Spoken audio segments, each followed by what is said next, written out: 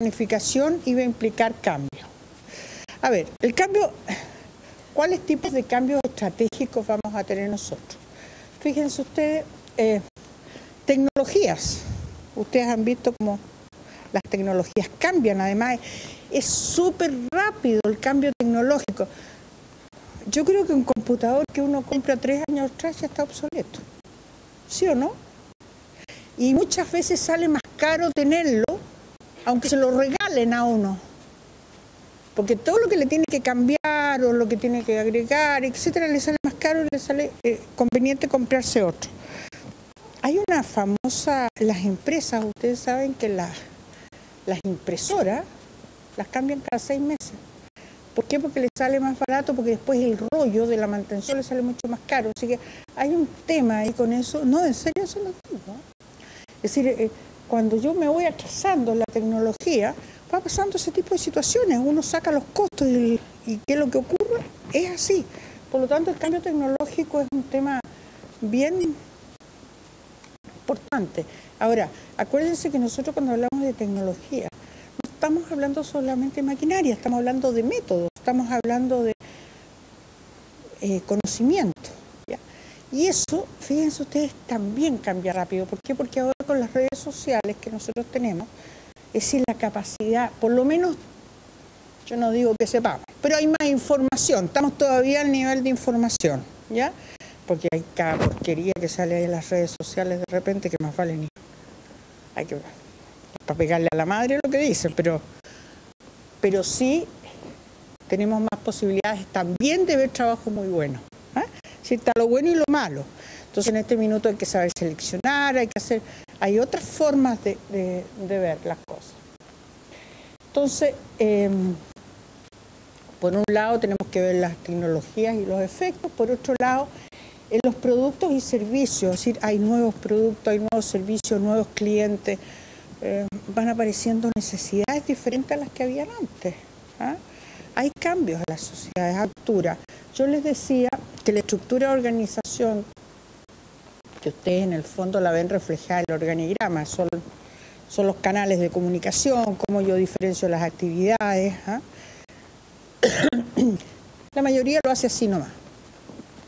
Es pésimo, porque ¿cuál es el sentido de la estructura en una organización? Es decir, cómo me organizo yo para el organigrama es el reflejo de la organización que yo tengo, de una manera gráfica. Pero ¿cuál es el sentido? El sentido que tiene es responder lo más rápido posible a los compromisos que yo tengo con mi entorno. Ese es el sentido de armar la estructura. A ver, yo tengo un compromiso, yo me responsabilicé por cumplir un pedido social. ¿Cuál es el pedido social que están respondiendo ustedes? ¿Ah? Los exámenes, ¿no es cierto? Y con calidad, no pueden ser hechos de cualquier manera. Ese es el pedido social que están respondiendo ustedes. Ahora, ¿cómo se organizan interiormente en el laboratorio? ¿Todos los laboratorios se tienen que organizar igual? No, no pueden. Ustedes tienen un determinado mercado, un segmento del mercado que atacan. Imagínense el que ataca a los viejos y el que ataca a los niños. ¿Tienen las mismas necesidades los viejos que los niños? Por supuesto que no, desde el personal hasta todo. Todo es distinto. ¿Ya? Entonces, como tienen necesidades distintas, yo también tengo que reestructurar adentro, incluso acomodarlo, incluso la ambientación, todo distinto. ¿ah? Ahora, cuando yo tengo que organizar adentro, también lo tengo que hacer de manera distinta. Tengo que adecuarme, porque la gracia que tiene la estructura es cumplir lo más rápido posible con a lo que yo me comprometí. ¿Por qué creen ustedes de repente que este, empezamos con las peleas de, estas organizaciones, qué sé yo, que son, uh, que son lentas, que peleamos, que queremos conseguir algo, nunca podemos? ¿ah? La burocracia que de repente nos complica, etcétera, etcétera, es porque no podemos responder rápidamente nomás, lo que nos están pidiendo. ¿ah? Y entonces se empieza a hacer la cuestión por el lado, porque se ve la obligación, muchas veces son de tránsfugas, pero otras veces son por, porque de verdad se ven en la necesidad de hacerlo, porque el mercado lo está pidiendo y resulta que no se puede responder rápidamente. ¿ah? Entonces hay que tener mucho cuidado con eso. Cuando nosotros organicemos tenemos que organizar de acuerdo a lo que realmente tenemos. La gente que tenemos, los recursos que tenemos, todo. Entonces, pero ¿cuál es la vista nuestra? Cumplir los compromisos que nosotros tenemos. ¿Y cuáles son nuestros compromisos? Con el mercado que nosotros nos comprometimos. Ese grupo de gente, esos clientes nuestros. ¿Ya? ¿Estamos? Ese es el objetivo. Entonces no es cuestión. Y la estrategia, entonces, ¿ah? eh, la estructura siempre tiene que seguir a la estrategia. Por eso tiene el tema. ¿Cómo voy a agregar valor yo? Mi estrategia me dice el cómo y yo me estructuro para seguir esta estrategia. Entonces cuando yo de repente, ustedes ven cambios de estructura dentro de la organización, implícitamente también hay un cambio de estrategia. Le está diciendo, no, es que hemos cambiado la estrategia, por eso nos estamos ampliando, nos estamos achicando, estamos diversificando, estamos, etcétera. Hay cambio. Ahora, el cambio organizacional, si bien nosotros dijimos antes que puede venir de cualquier lado, en general cuando yo lo transmito y qué cosas cambiamos, a nivel estratégico vamos a tener nivel de conceptos. Eso lo vamos. Ahí los cambios se dan a nivel conceptual. Vamos a hacer estas líneas, vamos a seguir con estos mercados sí, estos no. Para nosotros un mercado son los clientes, ¿no? Por lo tanto, no es lo mismo tener mercado, nuevamente, que es más gráfico para ustedes, de enfermos terminales, por ejemplo, que, que no. ¿No es cierto? Es totalmente distinto. ¿Cuál es el trato que tienen que tener con los enfermos terminales? A mi amigo le consta, pero yo estuve hace dos años absolutamente terminal. Y ya me contó. ¿Ah?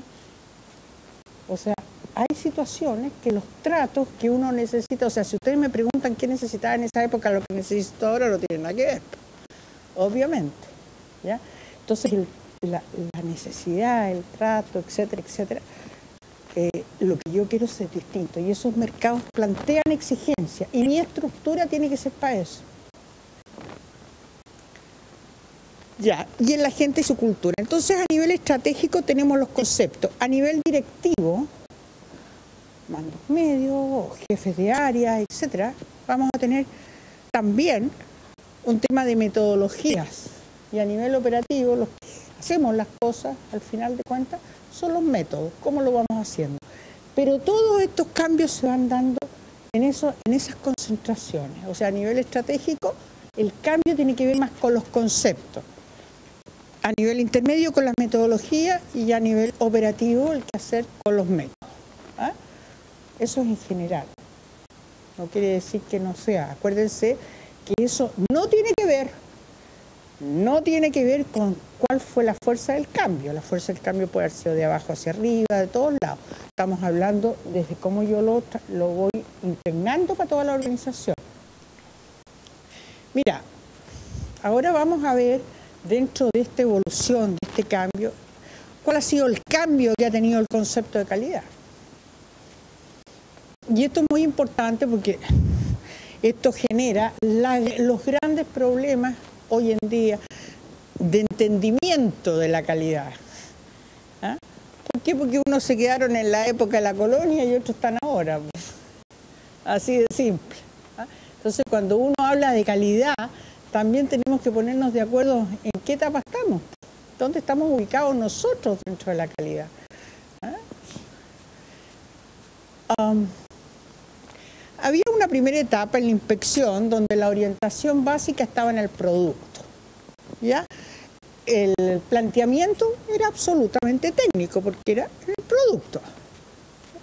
El, el enfoque que tenía es que la calidad se comprueba. ¿Y cómo voy a comprobarlo yo? A través de ciertos estándares que me he fijado. ¿No es cierto? Si cumple los estándares, entonces está comprobado es de calidad o no. Ahora, la fijación de estándares, ustedes saben que no es llegar y fijar estándares también, si, todo tiene su complicación. Cuando nosotros hablamos de esta evolución, estamos hablando que cada vez vamos integrando más no quiere decir que si yo ahora me preocupo de los procesos me dejé preocupar del producto. No, ahora me preocupo del producto y los procesos de fabricación en la etapa del control de calidad. O sea, ya no me quedo solamente concentrado en el producto, sino que ahora también me fijo en el proceso de fabricación. Cuando yo hablo de un servicio, también pasa lo mismo. ¿Cuál es el proceso de mi servicio que yo estoy prestando en un análisis? ¿No es cierto? ¿Ah? Ya no me fijo solamente entonces exclusivamente en el examen mismo, sino que además en el proceso que lleva este servicio. Bueno, nuevamente técnico, la calidad se controla.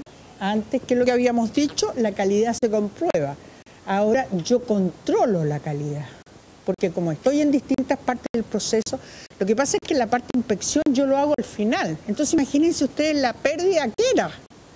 O sea, gastaban materias primas, toda la mano de obra que se había puesto, todo lo que se había hecho y yo al final del proceso recién ahí lo verificaba si cumplía el estándar o no. Y como no cumplía, a votarlo. Todo se votaba, no servía. ¿Ya? Cuando ya me empiezo a fijar de los procesos ya, entonces yo voy estableciendo controles intermedios, de manera que no sea todo, ¿no? Sino que esta parte del proceso ya no pierdo todo, todo. Voy perdiendo de a poco.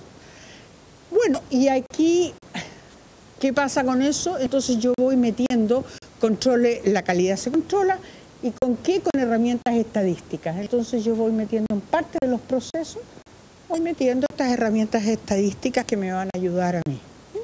¿Qué es lo que pasa? Ustedes lo pueden comprobar mejor que cualquiera, pues, porque ustedes tienen bastante definidas sus etapas, ¿no es cierto? Después viene el aseguramiento de la calidad. En la etapa del aseguramiento de la calidad yo me preocupo del sistema, del sistema completo. ¿ah? Ahora, el sistema, nuevamente seguimos pegados en lo técnico, exclusivamente. Vuelvo a repetir que todo esto es acumulativo. No es que si yo me preocupo de esto, dejé de preocuparme de lo otro. No. Va, pero ahora voy avanzando. Por eso que hablamos de evolución. No es una transformación, no, no es una cosa así. Acá la calidad se produce. ¿Ya? Y los programas son los sistemas de normas de las ISO. Pero fíjense ustedes que ahí entramos en un problema. Ustedes han visto muchas ISO ya la primera parte, ¿no es cierto? Vieron todas las de las ISO, así que yo no me voy a repetir todas las ISO. Vamos a ir poniéndole el acento, donde las metemos ahí, y yo les digo dentro de la organización dónde van a ir estando, pero no más que eso. no van a estudiar dos veces las ISO. Pero lo que sí es cierto es que hay que tener cuidado cuando yo hablo del aseguramiento de la calidad en base a las puras ISO. Porque si, si la norma me dice algo que es erróneo, me está obligando a hacer bien lo equivocado. Porque yo estoy asegurando la calidad. ¿Entienden o no? ¿Ah? ¿Sí? Entonces, el fijarme exclusivamente solo en la norma y no en otros temas, me está diciendo, a ver, a ver, cuidado. Si la norma tiene un error, pasaba lo siguiente. Fíjense ustedes que llegó a pasar lo siguiente. Que la empresa o el laboratorio o cualquiera se podía acreditar y al día siguiente quebrar la empresa. Pasó. Se acreditaba y al día siguiente quebraba. ¿Ustedes me pueden hablar que eso es calidad? No puede ser, ¿no es cierto? Pero ¿por qué no se estaba cumpliendo todas las normas? Estaba todo lo que estaba al pie de la letra bien. Había algo que estaba mal hecho. ¿Y por qué? Porque yo no me estaba circunscribiendo a qué campo. ¿A qué campo? A lo técnico nomás, ¿no es cierto? Entonces eso podía estar muy bien. ¿Y qué pasaba con las finanzas? ¿Qué pasaba con las finanzas? ¿Qué pasaba con la reputación de la empresa? ¿Qué pasaba con? Con el cumplimiento que hablamos nosotros al principio, ¿no es cierto? Nada. ¿Ah? ¿Qué pasa eso con el laboratorio en ese campo? Bueno, entonces llegó la calidad total. Y la calidad total nos dice que la orientación es al cliente, los miembros de la organización y la sociedad. Entonces nosotros tenemos que dar respuesta al pedido social. Eso, ese es nuestro, nuestro norte principal. Ellos nos están pidiendo algo. Ahora, cuidado que en el pedido no hay engaño, ¿no es cierto? Entonces, aquí es donde nosotros vamos a tener que tener súper claro y después vamos a hablar, que no lo vamos a hacer hoy día, pero ya va a ser mañana, vamos a hablar sobre lo que es la misión, pero así a concho. ¿Ah? Ojalá hubiésemos alcanzado a ver algo ahora.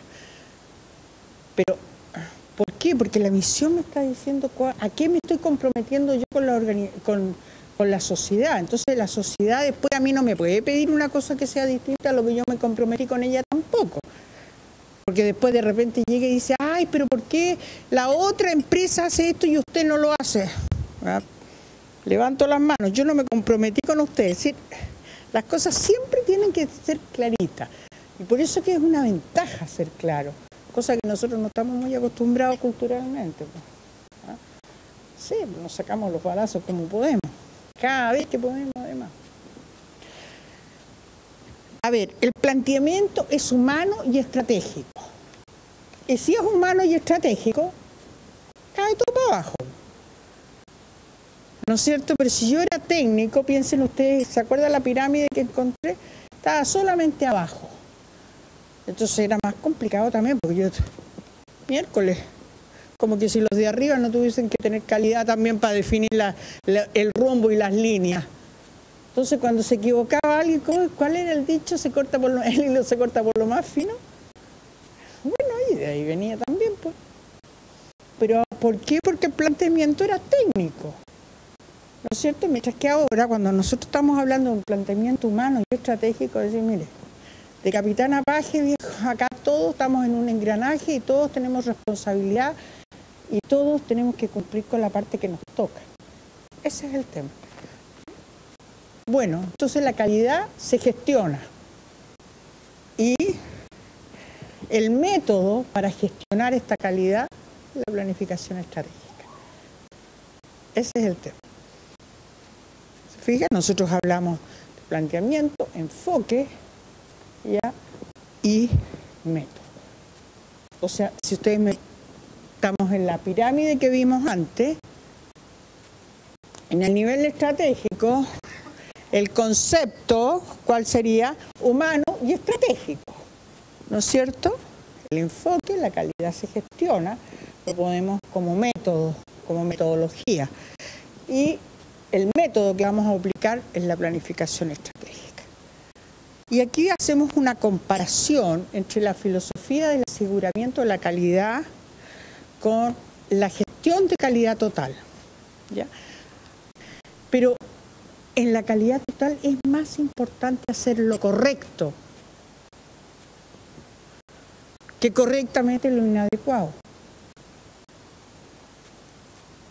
De alguna manera, cuando nosotros decimos que está, es importante documentar el cumplimiento, aprobar las evaluaciones periódicas, podemos estar haciendo algo incorrecto, ¿ah?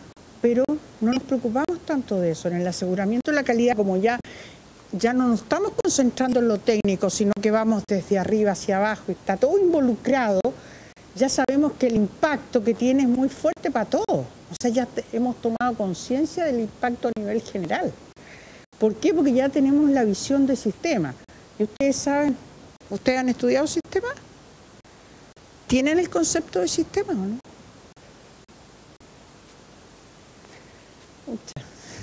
Ya.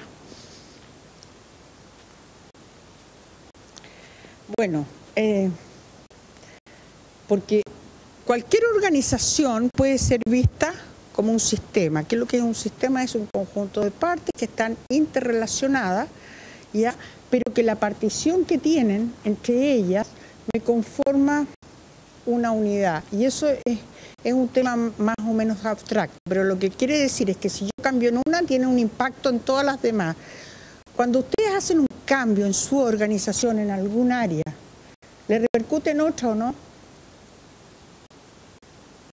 Siempre, siempre. ¿Por qué? Porque ustedes están prestando servicio o recibiendo servicios de. Entonces, lo único importante en el sistema es que yo, por un lado, tengo que mantener la unidad y que yo la división que yo haga entre las distintas partes del sistema sean independientes, ¿ya? En el sentido, más, que independiente, que no tenga intersección entre ellas. ¿Saben lo que es intersección? ¿Ah? ¿Sí? Ya. Que no tengan intersección entre ellas, que yo las puedo hacer totalmente diferentes, ¿ya? Y que, sepa, por otro lado, que están en contacto, que una me influye a la otra. Y que yo puedo, si yo junto todas las partes, armo el total. Y eso es lo que pasa con la organización. Yo la organización, por ejemplo, yo la podría haber dividido en niveles. Yo tengo tres niveles, estratégico, nivel directivo y nivel operativo, y bien claramente definido cada uno. O sea, el que es directivo no es operativo, estamos claros. ¿Ya? El que, la persona que pertenece al nivel operativo no pertenece al nivel estratégico. Están en niveles completamente diferentes. Yo se me ocurrió dividir la organización así. La dividí como un sistema, pero cuando nosotros recién partimos, también dividimos a la organización como un sistema. Y lo dividimos, fíjense ustedes, cinco subsistemas dijimos objetivos y valores, qué sé yo, y dijimos que todos ellos también estaban influenciados. ¿Ya? Ahora, ¿qué es lo que pasa con esto? ¿Qué es lo que pasa con esto?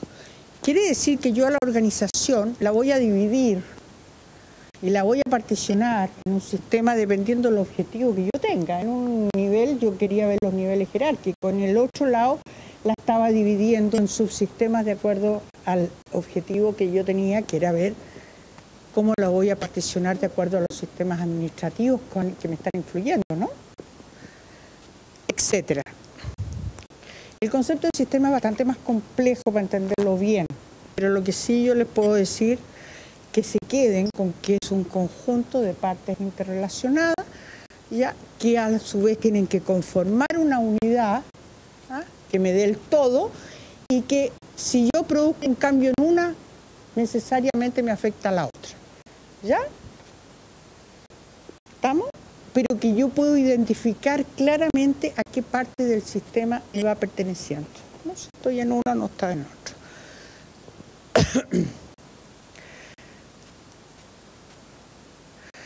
A ver, cuando nosotros estamos hablando ahora, ¿cuál es la diferencia que nosotros estamos encontrando entre el aseguramiento de la calidad y la gestión de calidad total? Eso, lo pongo al principio. Las personas. Eso es lo básico. Fíjense ustedes, vuelvo atrás que nosotros habíamos dicho, y más atrás todavía habíamos dicho en algún minuto, que estábamos en un nivel estratégico y humano, ¿se acuerdan? ¿Ya? Bueno, lo más importante entonces que vamos a estar acá, la diferencia fundamental entre estas dos visiones son las personas. El aseguramiento de la calidad nos volvemos a meter en el sistema, ¿no? Y nosotros habíamos dicho que acá, que estábamos también a otro nivel, estamos en un nivel estratégico y humano, ¿ya? Pero yo les vuelvo a repetir, eso no significa que yo excluya lo otro, sino que lo tengo que incorporar. Es decir, cada vez me vuelvo más exigente. Em, ¿Qué pasa aquí? Todos los integrantes de la organización participan en la planificación, desde su nivel, desde su puesto, desde su área. Todos. Es decir, porque todo, cada uno se siente parte, es, está consciente que es parte de un engranaje. A ver, piensen ustedes cada uno por cinco minutos. No, les doy uno. Menos, medio segundo. Si ustedes fallan en alguna actividad clave de ustedes, ¿cómo afecta a la otra?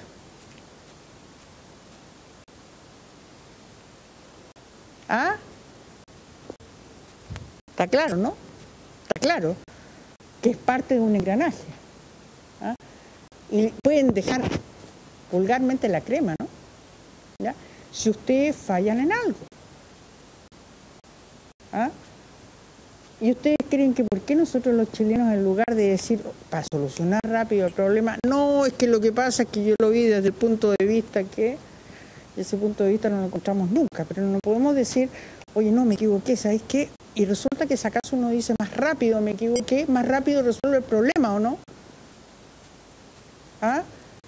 Pero culturalmente estamos acostumbrados, no, es que yo lo vi, porque yo no voy a asumir mis errores. Si yo me puedo equivocar, pues soy una persona. ¿Ah?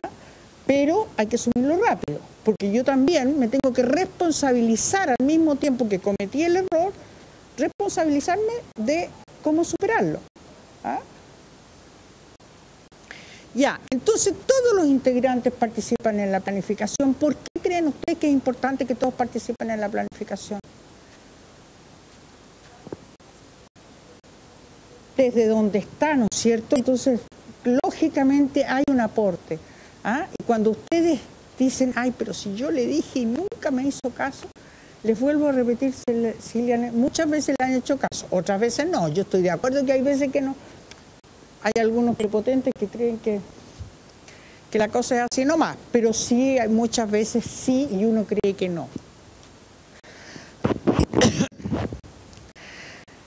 el otro tema, que saben lo que les toca a cada uno y cómo interactuar con los demás, que era lo que habíamos dicho hace un minuto. ¿ya? Otro tema, están conscientes de la misión colectiva, ¿ya? de equipo y también individual, porque aquí hay un tema, como nosotros somos así en la vida, o es blanco o es negro, o trabajamos en equipo o somos individualistas, pero hay a ratos que tenemos que trabajar en forma individual para cumplir el objetivo del equipo. ¿Ah? Y vuelvo a repetir, hay que distinguir claramente lo que es trabajar en grupo de lo que es trabajar en equipo. Yo soy parte de un engranaje y yo tengo que cumplir eficientemente lo que a mí me toca para que cuando pase al otro, porque esto es como una posta. Ustedes han visto las carreras de posta, ¿no es cierto? Se pasa el palito, bueno, eso es lo que hace el equipo, pasando el palito sistemáticamente. Lo importante, si yo quiero llegar a la meta rápido, es pasar bien el palo. ¿Ah? Ese va a ser el que me va a permitir poder llegar, ¿no? Bueno, eso es un poco lo que nos pasa a todos. Entonces, por un lado, ese que pasa el palo tiene que saber pasar el palo. Entonces ahí hay una responsabilidad individual. ¿ah? Y ponerse en el lugar del otro para que cuando se lo ver qué es lo que va a hacer el compañero en ese minuto. ¿ah? Pero también tiene que ver el tema del equipo.